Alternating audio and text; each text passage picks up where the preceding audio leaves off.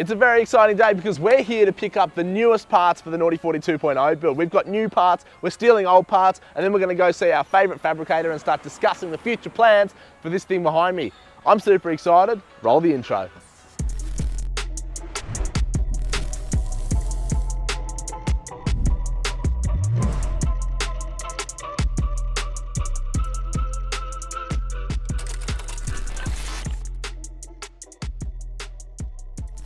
Well, it's been pretty hard to keep a Dwiz size secret from you guys, but here we are. We're about to crack this open and let a whole bunch of cats out of the bag as to the plans for the future of the Naughty 40 2.0. Then we're gonna head up to the diff graveyard and start rummaging for some parts that we're gonna need to get this thing on the road. Let's crack into it.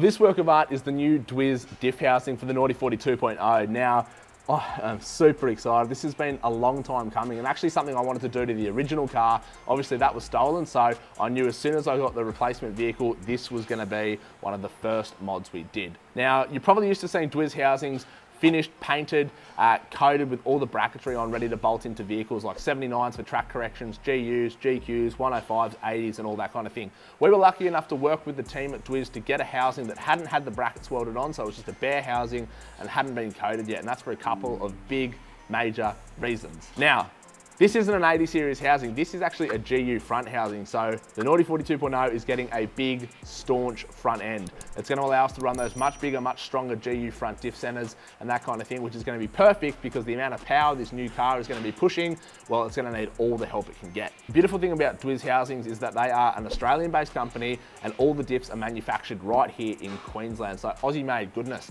They also accept all the OEM parts and that kind of thing. And one of my favorite features about them is that they've got a patented inner tube and blocking design, which means they're basically braced from standard, super strong, but you don't have to run those massive gussets on the top side or bottom side, hindering clearance to things like the ground or the sun. Plus, they've got an integrated recovery point or a tie down point on the front side of the housing, built into that inner tube as well. So you do have a whole bunch of options for suck down winches. You've got options for uh, tying the vehicle down to trailers and that kind of thing. We've got a lot of plans for this thing. None of them are gonna happen while it's in a crate here.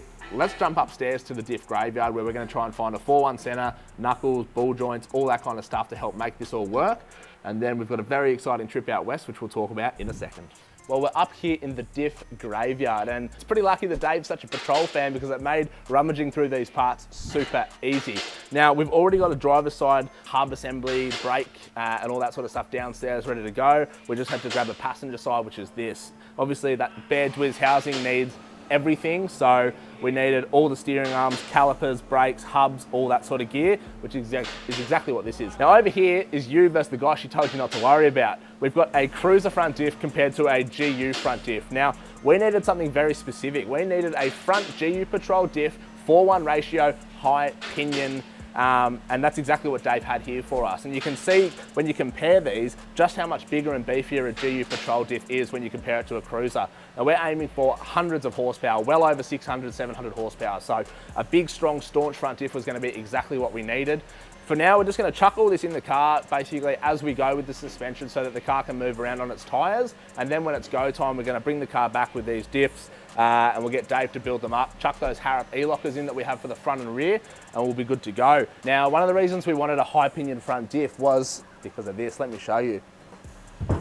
If we rotate this very heavy, awkward thing around, you can see that the flange and the pinion, I guess, is sort of on the higher side of that diff. It's not down in the center. And that's basically just going to help us get the best possible pinion angle that we can. Um, now, not all GU diffs are like this. Some are in the center, some are high pinion. So we really specifically were chasing a high pinion and that's exactly what we've got here. So I reckon it's time for me to slip another disc in my back. We'll lug these downstairs, chuck them in the car and hit the road.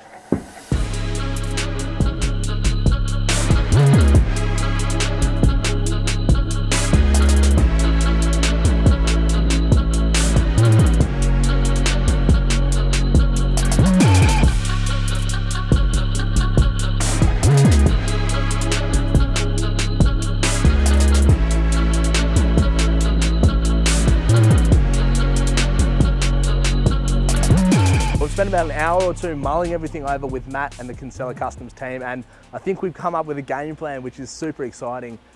We all know that front 80 series diff is not going to hack it, so we've got that gorgeous GU Dwiz housing to put under here. Now, it's not just going to bolt in, we're going to need a whole lot of fabrication work, a whole lot of custom stuff, links, coilovers, you name it, the front of this car is going to be getting it.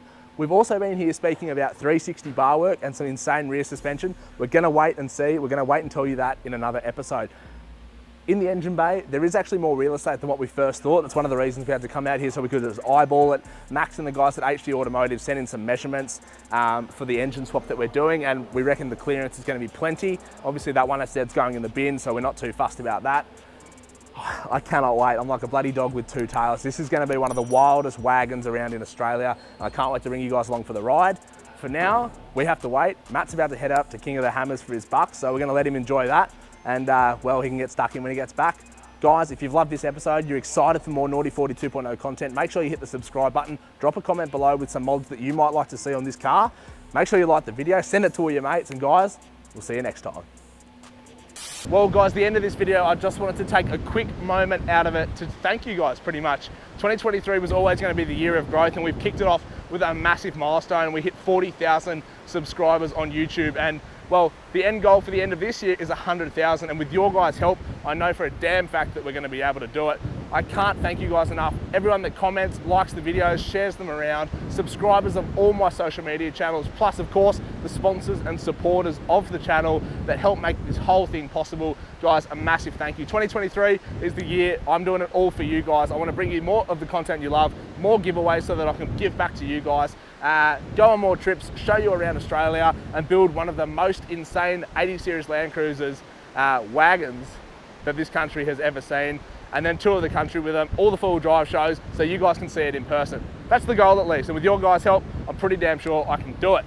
I also wanted to take a quick moment to just remind you that last week's episode has an insane $600 Mongoose GPS tracker giveaway in that takes to Automotive Superstore. So if you haven't watched last week's episode and you think, hey, you know what, I'd like to win a GPS tracker for my vehicle so it doesn't get stolen like this guy's did, then you need to go back to last week's episode on how to theft-proof your four-wheel drive or vehicle, watch the video, all the information is in the video, you'll have to subscribe to the channel, drop a comment on that video, and then in next week's episode, guess what guys, I'm gonna be announcing a lucky couple of winners to win these awesome Mongoose GPS trackers so you can protect your pride and joy too. Guys, 2023 is going to be an absolute hoot. We're already here with the Stock 80 Series getting it sent on Stockton Beach, and this is just the tip of the iceberg. All the best. Let's kick 2023 off with a bang. Massive thanks. Get after it.